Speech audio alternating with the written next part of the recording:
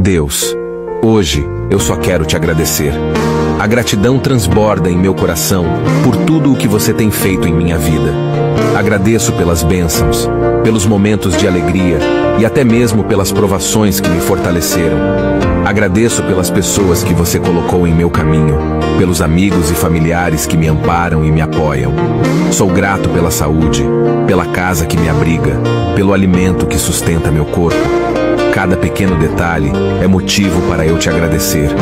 Deus, agradeço por me guiar e me proteger a cada passo que dou, pelas portas que você abre e pelas que você fecha, sempre sabendo o que é melhor para mim.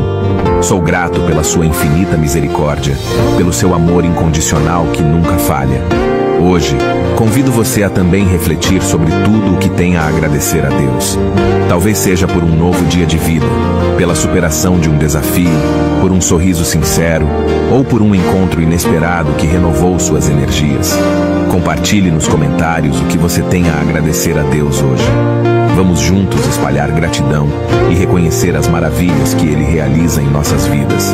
Agradeça por tudo o que Ele já fez e por tudo o que Ele ainda fará. Curta este vídeo para mostrar sua gratidão e compartilhe com todos aqueles que você ama.